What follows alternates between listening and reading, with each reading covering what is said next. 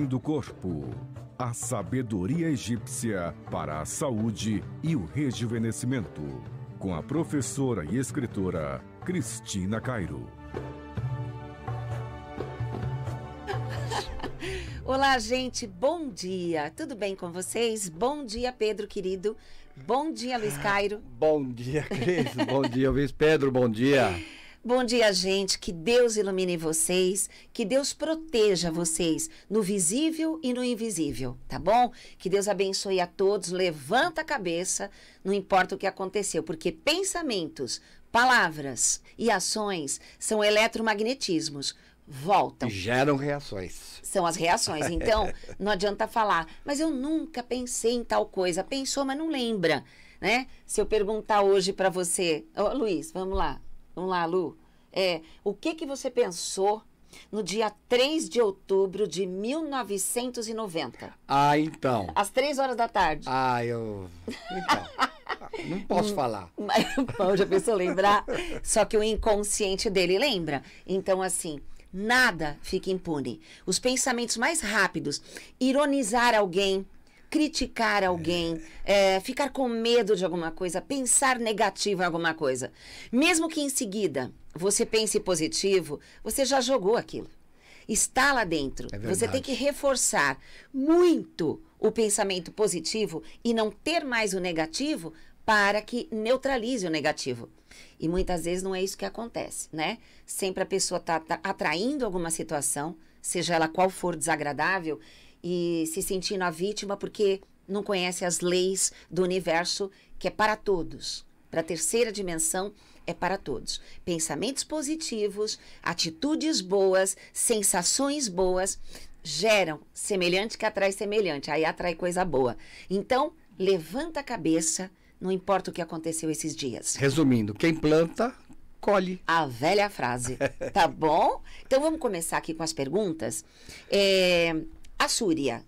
A Súria diz que uma mulher, ela não diz qual, de 63 anos, tem fibromialgia, reumatismo, problemas estomacais, enxaqueca, tá sofrendo, hein? Há dois meses tem vômitos e diarreia, várias vezes ao dia. Perdeu 12 quilos, treme muito, sente fraqueza, fez todos os exames e nada consta. A família está super preocupada. Então, vamos falar por partes, porque é claro que essa mulher de 63 anos, ela não está cumprindo com o setênio dela. Ah, vejam aqui neste canal, né? Aqui no canal Cristina Cairo Oficial, porque este programa da rádio vai para o canal Cristina Cairo Oficial. Ah, a live que eu falo sobre os setênios, o poder dos setênios na sua vida. Que inclusive tem no livro, né, do Meditação. Tem o É. livro A Cura pela Meditação, que é um livro meu, tem todos os setênios, desde o começo da sua vida para adiante. A cada sete anos, nós temos um compromisso com a natureza. Se a pessoa não cumpre aquilo, ela começa a ter doenças que não sabe de onde vem. Né? Às vezes consta nos exames, às vezes não. Então veja bem, o setênio anterior dela era se expressar e ensinar autoajuda, espiritualidade, nem que fosse para um pequeno grupo na sala da casa dela. Porque todas as pessoas de 56 anos de idade até 62 anos é o setênio da liderança espiritual. E todas as pessoas precisam passar por essa experiência. Uns vão dar palestras para grandes públicos, outros vão reunir pequenas pessoas numa mesa para discutir assuntos, seja do evangelho, seja de autoconhecimento, psicologia, motivacional, alguma coisa simples ou não. Então, quando as pessoas não praticam os três setênios anteriores, que eu não tenho que falar disso agora, quando chega no setênio à frente, no terceiro, quarto setênio, a pessoa fica doente ou começa a ter perturbações orgânicas e até de acidentes. Então, o que, que a gente vê aqui? Vamos analisar pela linguagem do corpo para que essa mulher possa compreender, possa mudar a conduta dela, fazer o que tem que ser feito para que ela se cure. Mas, Súria, é, nada se impõe. Se for você, essa mulher, presta bem atenção no que você precisa fazer para se curar. Se não for mulher, você essa mulher, então não tem como impor É. o que a gente está colocando aqui, porque Quem se identifica com este programa começa a praticar, vai se curando à sua maneira, mas o que eu vou falar agora, como?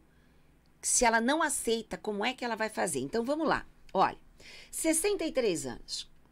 63 anos é a irmã mais velha da humanidade, é uma psicóloga natural que deveria estar conversando com as pessoas, escutando a dor das pessoas, sem sofrer, mas orientar, aconselhar. Ela não está em condições, porque no anterior ela já não fez. Então vamos entender aqui. O que, que é fibromialgia? Que eu já falei em outro programa, mas eu vou colocar tudo isso para esta mulher. Fibromialgia, que é a dor generalizada, que a pessoa faz exames e não acontece nada. Acontece, na maioria, sempre nas mulheres. Na maior parte das vezes, nas mulheres. Que tipo de mulher que desenvolve fibromialgia? Mulheres que carregam mais do que podem carregar. Mulheres que ficam se preocupando com a família, liga para saber como é que está uma situação, não consegue delegar, pega os problemas emocionalmente e até fisicamente para ela. Ela tentar resolver tudo, não dá porque cada pessoa tem que resolver o próprio problema. No caso aqui, se ela conseguisse delegar, claro que ficar atento, ajudar, acolher é uma coisa, mas tentar ditar, tentar salvar, tentar acolher tudo e todos, não deixando ninguém resolver seus problemas, porque ela começa a ver que as pessoas fazem besteiras. Só que as besteiras às vezes dão resultados em que pela dor a pessoa vai mudar, né? Então, nesse caso aqui, ela precisa fazer terapia com psicólogo, porque ela está carregando mais do que pode, porque desde criança ela teve que carregar coisas que não combinava com a idade dela, ela teve que crescer antes da hora. E a gente percebe aqui pelo reumatismo. Reumatismo significa pessoa que nunca se sente amada desde criança. Faz, faz, faz por todo mundo e as pessoas não reconhecem tudo que ela faz. No fundo, ela faz porque ela precisa ser amada, ela precisa ser aceita, porque desde criança, por algum problema da família, ela não se sentiu amada. Então ela carrega consciente ou inconscientemente, uma tristeza profunda que ela carrega na vida dela. Aqui, aqui já tem outra prova de que ela não conseguiu ser amada e que cresceu antes da hora. Problemas estomacais. Os problemas estomacais acontecem quando a pessoa não delega ela centraliza tudo, tudo nela. Tudo em cima dela. Tudo em cima dela, porque ela não confia. Ela não consegue trabalhar em equipe, porque ela quer que as coisas sejam perfeitas, do jeito dela.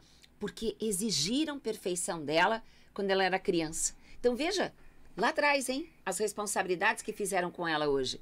E não é culpa de papai, mamãe nem de ninguém, mas porque ela não buscou o autoconhecimento. Aqui, nós temos agora enxaqueca. Enxaqueca está relacionada a uma contrariedade tão forte de invasão de privacidade, de individualidade quando ela era criança, né?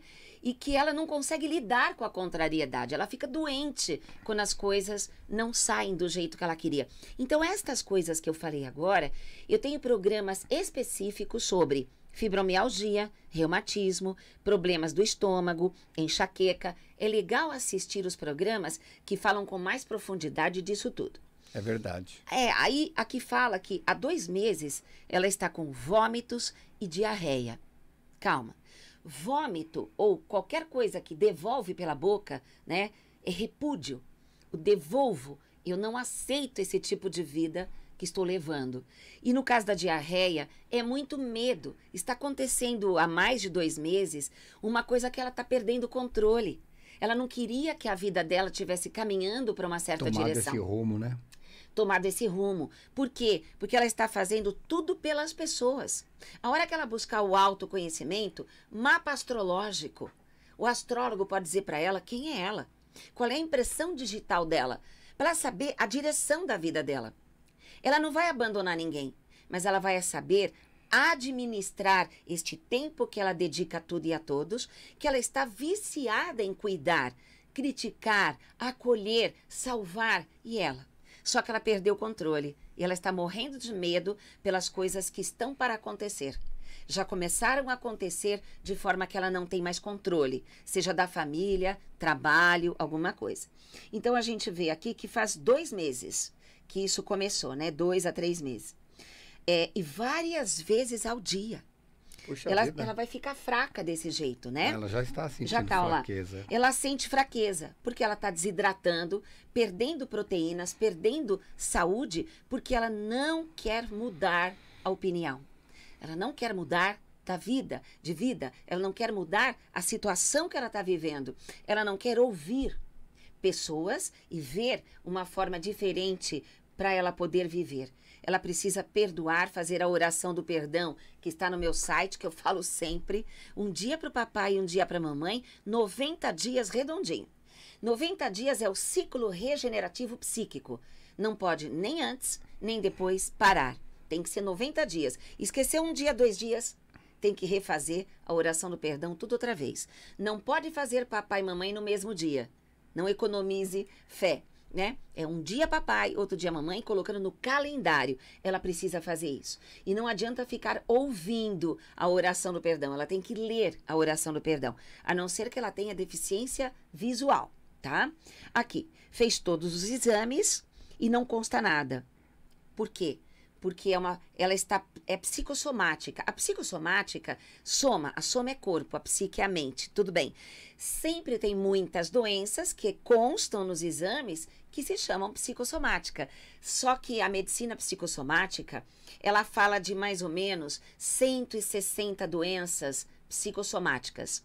A linguagem do corpo fala que todas as doenças e acidentes são psicossomáticas. Começa na psique, nas emoções e é lançado para o corpo, nas energias etéricas. Então a pessoa atrai situações. Nesse caso, Súria, ela está precisando fazer a oração do perdão papai e mamãe, ela está precisando buscar o autoconhecimento por mapa astrológico, mapa numerológico e terapia com psicólogo ou psicanalista para que ela aprenda como fazer para mudar de vida. Muita gente quer mudar de vida, mas não tem ideia por onde eu começo. O que eu vou fazer? Como é que eu reajo diante dos mesmos problemas? Os psicólogos trazem informações. Olha, quando estiver acontecendo isto, faça isto. E não é induzir, é dar uma clareza para a pessoa. Então, Súria, ela precisa de ajuda. Dá um conselho para procurar psicólogo, tá bom? Boa sorte. Nós temos também aqui a, a Lili. Ela diz que a mãe dela é muito irritada com o pai dela, com o próprio marido.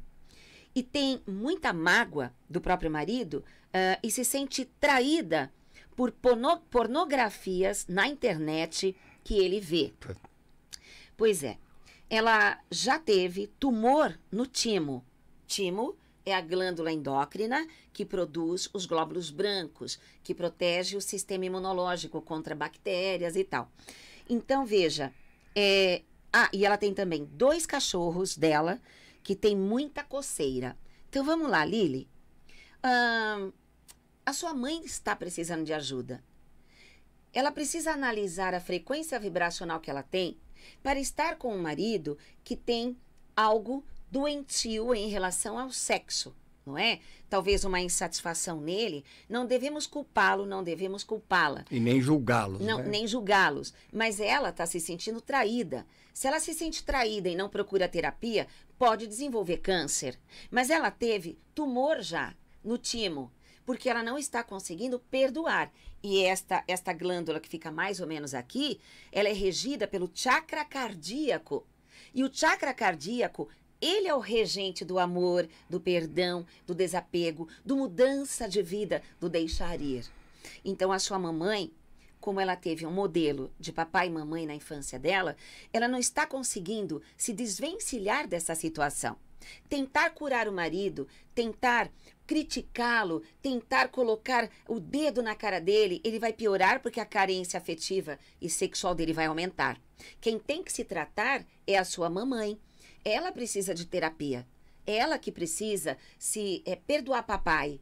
De alguma maneira, ela está vendo o papai dela neste marido. Mesmo que o papai não trabalhasse com essas coisas pornográficas, mas talvez o papai tenha sido ausente para a mamãe dela. Porque um homem que fica vendo pornografia, ele não deixa de ser um homem ausente para a própria esposa. A própria esposa pode não estar correspondendo à sexualidade que ele deseja, mas às vezes ela sonhou em casar com um príncipe e ele sonhou em casar com aquilo que ele vê na internet. Então, por isso que eu falo que quando uma pessoa está namorando, pergunta na brincadeira qual é a sua fantasia sexual. Porque no namoro você já vai definir se você quer casar ou não. E as pessoas raramente conversam. Pois é, deixa para depois, né? Deixa para depois. Conversar, só que antigamente não tinha isso. As pessoas tinham vergonha. O homem esperava muito de uma mulher.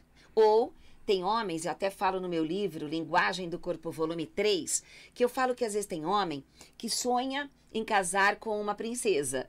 Toda bondosa, meiga, querida, que faz o docinho que ele gosta. E quando casa, ela que é aquela pornográfica e que ele não queria que fosse assim. Como tem o caso de mulheres que acham que vão casar com um cavalheiro e ele, na verdade, é grosso depois que pega em ti. Bom, é. então assim, semelhante atrai semelhante. Sua mamãe, ela não tem que condenar nada. Ninguém, nem você. Eu sei que você está preocupada com ela. E ela está muito irritada porque ela não consegue ser ela. Ela tem medo de perder. Ela tem medo das consequências se ela tomar uma decisão. Ela não precisa tomar decisão nenhuma. Ela só precisa uma só: terapia. Com psicólogo ou psicanalista toda semana. Presencial. Nem sempre essa coisa de online é boa. Eu não gosto. Mas às vezes a terapia vai atender alguém de outro estado, outro país, não tem É como o que fazer. acontece, né? né? Depois que começou o online, muita gente não pode mais se aprofundar na terapia. Porque se der algum crepe, né, uma catarse, um surto na pessoa e ela está longe, como que o terapeuta vai ajudar? No caso da sua mamãe, ela carrega muita mágoa do próprio papai dela, que ela transferiu tudo isso para o marido. E o marido não se contenta, o marido não está bem. Ele teria que fazer terapia. Também. Mas não vai adiantar. É melhor ela, já que você fala, Lili, que a sua mamãe que está irritada, que a sua mamãe que teve tumor e que você se preocupa com a sua mamãe. Então é ela que tem que fazer terapia e você, Lili, tem que fazer terapia também com psicólogo. Senão você vai pegar essa história de vida deles e repetir lá na frente, se já não está repetindo, na sua vida. Tá bom? A gente tem que cortar os ciclos através de compreensão, terapia e perdão. E depois ver que decisão que toma. Tá bom? Agora nós temos aqui a Adriana. Dá tempo ainda? Ainda tem. Tá. A Adriana, ela fala o que, que significa os dentes assim, daqui da frente, os incisivos abertos. Eu tenho um programa que eu falo só dos dentes. Então, é assim. Eu só vou falar rapidamente porque perguntou, mas tem um programa específico sobre dentes. É, o incisivo direito central representa a personalidade da mamãe. O incisivo esquerdo central representa a personalidade do papai. Quando os dentinhos são abertos, logo que você nasceu, ou quando você estava na barriga da mamãe, mamãe pensou em se separar do papai por alguma mágoa, por algum medo, alguma necessidade. Eles podem até ter ficado juntos, mas de alguma maneira eles são separados, tá? Eles podem ser amigos, ou pode, pode ter morrido, ou simplesmente eles já se separaram. E o que, que acontece quando uma pessoa tem o dentinho aberto na frente? O não verbal está mostrando para a humanidade toda, porque a humanidade toda lê o corpo sem saber. Pois é no é. instinto a linguagem do corpo. Então, todas as pessoas que têm dentinho aberto, na verdade, elas namoram e casam e depois separa ou vive de forma separada. Porque aquele que se junta a uma pessoa que se atrai por uma pessoa de dentinho aberto, é porque dentro dessa pessoa tem também alguma coisa em separação ou não querer invasão de privacidade. Claro que o dentinho volta ao normal, muitas vezes sem aparelho nenhum. Muitos dentistas sabem disso, tá?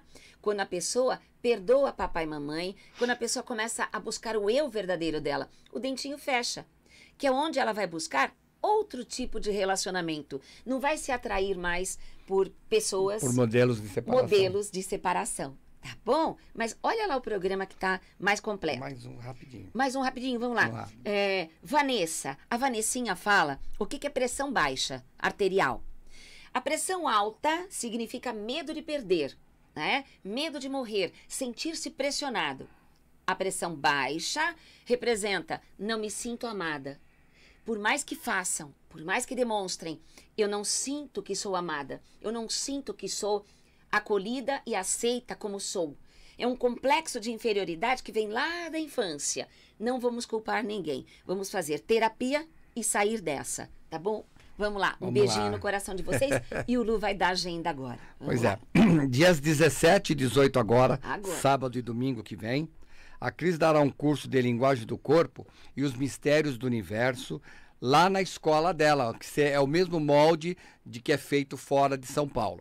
Das 10 às 18 horas, somente presencial, devido a exercícios, a vivência. vivências que ela faz. Não tem muitos Então- exercícios, é uma coisa que, você sabe, é uma É, vivência. é uma vivência, eu falo não assim, pode dar online. Não é. deixa de ser um. um É, senão vão completo, pensar que a é. gente vai levantar e Não. dançar no nada. É tudo na carteira. É na tudo... carteira. Tá? É É somente na presencial. Pelotas, hein? Rua Pelotas. Tá? É Na rua, na, na rua Pelotas, número 106. Vila Mariana. E você receberá um certificado de participação. Isso. No dia 24 de fevereiro, sábado, a Cris dará uma palestra de duas horas de linguagem do corpo e leis universais. Também só presencial. Será às 15 horas, tá bom?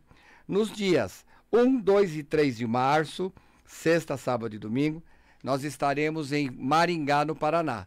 Na sexta eu darei um curso de benzimento. No sábado e domingo a Cris dará o módulo 2 e 3 da linguagem do corpo. Isso, para quem já fez a- o módulo 1, pode É. participar do 2 e o 3, tá bom? É, está no Maringá, no Paraná, tá bom? O dia inteiro. Nos dias... oh, meu Deus. Nos Baralhou dias tudo. 1, 2 e 3 também, que seria sexta, sábado e domingo, lá na nossa escola, É. né, na Escola Brasileira de Linguagem do Corpo e Psicanálise Cristina Cairo, o curso de registros acástico Com o nosso com o querido nosso querido Paulo. professor Paulo Moretti, tá? Ele É online e é, presencial. esse curso será online e Sexta, sábado e presencial. domingo. 1, 2 e 3 de março. Março. Isso. No dia 7 de março começa o curso profissionalizante de psicanálise com linguagem do corpo. E é cur- esse curso terá duração de 30 meses, Exatamente. online e presencial. Exatamente. E nós temos, na nossa escola de psicanálise, a gente tem Freud, Jung, a gente tem astrologia, meditação, linguagem do corpo, bastante. Então, é uma, é uma É bem psicanálise integrativa. é. É integrativa. psicanálise. exatamente. São muitas ferramentas para você agregar à psicanálise. Vocês teriam que pegar a informação, porque tem uma documentação Sim. que você precisa entregar, mandar para a escola, para poder se inscrever para esse curso, online E ou presencial. Nos dias 13, ou melhor, nos dias não, no dia 13, quarta-feira, começa o curso de numerologia pitagórica com linguagem do corpo, com a Cris, e esse curso terá duração de seis meses, será a cada 15 dias, Isso. online e presencial também. É de quarta-feira e eu mostro todas as doenças dos números e como reverter em saúde. Então, nessa numerologia, você vai aprender a fazer o mapa para poder atender outras pessoas se você quiser. Você já sai trabalhando e recebe o certificado. Isso. No dia 14, na quinta-feira, começa o curso de Linguagem do Corpo com o professor Júnior. Terá duração de seis meses também, online e presencial. Só que é toda semana E esse é dele. toda semana. É. Foram muitas informações, mas você pode acessar o nosso site www.linguagemdocorpo.com.br e lá tem tudo explicadinho. Você entra lá em agendas, você vai ver toda a Ou programação. no telefone, que é o WhatsApp, e você manda sua mensagem lá e os meninos Exato, queridos... já passo também. Isso. Lembrando que estaremos em abril na Califórnia, São lá em Francisco. São Francisco, a nossa querida Fernanda, dando curso de linguagem do corpo e os mistérios do universo. E estaremos também no final de maio para junho em Portugal, na cidade do Porto. Isso. Tá bom? Com nossos amigos Carlos e Mariana, tá? Como eu falei, o telefone é 011 5574 9010 e o 011 5083 8948. E os dois são WhatsApp, você pode mandar mensagem. E o Rodolfo, o Cauã e o Índio são os que cuidam é. da recepção e mandam, eh, mandam entregar para Não, respondem para Responde você. tudo para vocês. Você achará os livros da Cristina em todas as livrarias aqui em São Paulo e na nossa loja virtual, que está anexada ao site www.linguagemdocorpo.com.br. É, o Rodolfo me falou que não é mais Não é site. mais? Vixe, Mas eu não sei Eu onde. preciso me atualizar, então. Eu acho que vocês entrando, acessando o site, vocês vão ter aonde que compra, mas não é mais naquela loja virtual. Ah, é? Mudou. Vixe. Mas vocês vão encontrar Mas é isso, você vai a achar lá. trilogia, volume 1, 2 e 3, com todas as causas de doenças, acabe com a obesidade, o Deu. poder dos gatos na cura das doenças, deu? Deu. Deu? E, E um, um monte. a cura pela meditação, a Afinidade, é, afinidade, lei da afinidade. o TOTE. Tote, o Hospital, do, Hospital Futuro. do Futuro. Gente, muito obrigada. Que Deus abençoe vocês e paz E profunda. nós vamos almoçar. Paz profunda.